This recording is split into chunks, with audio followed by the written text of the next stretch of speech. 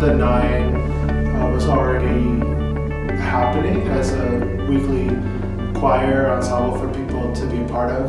Uh, but it, it wasn't until a student at the time, Lisa Sroka, who's now married, Lisa Taus, uh, she, as part of a class that she was taking uh, through the Catholic Studies minor, came up with this idea that with student leadership, the nine could become uh, reinvigorated and incorporate more students, incorporate more student leadership.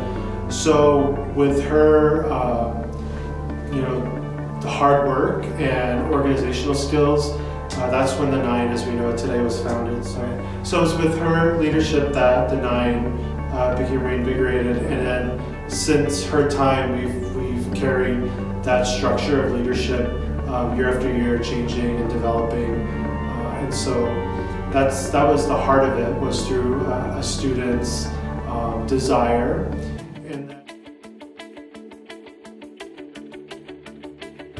My most memorable experience at the Nine um, was right after my first music ministry retreat.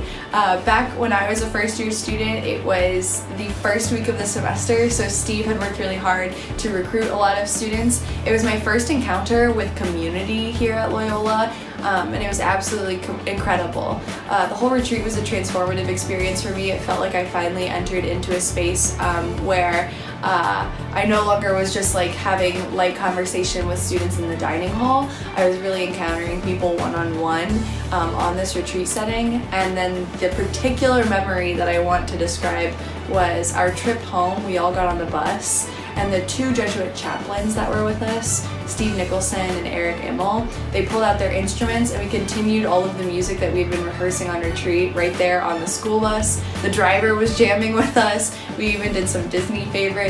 Um, but it really did bring home for me this experience of community and music and joy. Um, and it's something that I've carried with me ever since. Um, I think the Nine is so unique because there's not, no one's holding you to the commitment of coming every week. Um, you don't have to, you can come as you please and come once and never again. Um, but I think it's beautiful that with that said, still there's this huge group of people that's committed to coming every week. Um, and that makes a point to do that and that's their, I don't know, a piece of their week and kind of their like Sunday ritual is going and singing or playing with the nine. Um, I really like A Place at the Table. That was like, I think that was the first song we sang at Mass of the Holy Spirit my freshman year. And um, yeah, it was before I really, I mean, like, I knew a little bit about the Jesuits and like the social justice aspect of Jesuit education, but I feel like that song like really spoke to me. Um, and it kind of, it also made me like feel welcome, I guess, because like I knew that I had a place at the table in this community.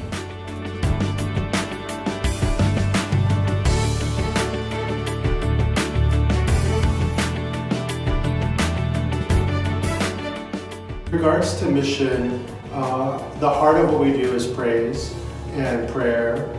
Um, but then I'm thinking of, of, specific kind of ideas of Loyola's Ignatian um, heritage, finding God in all things. We take any person uh, and any ability, any amount of time that they can give, and we utilize all of their talents. So uh, we were talking earlier today in a meeting that if a person comes on the last Sunday of the last semester of their senior year, we will take them for that Sunday.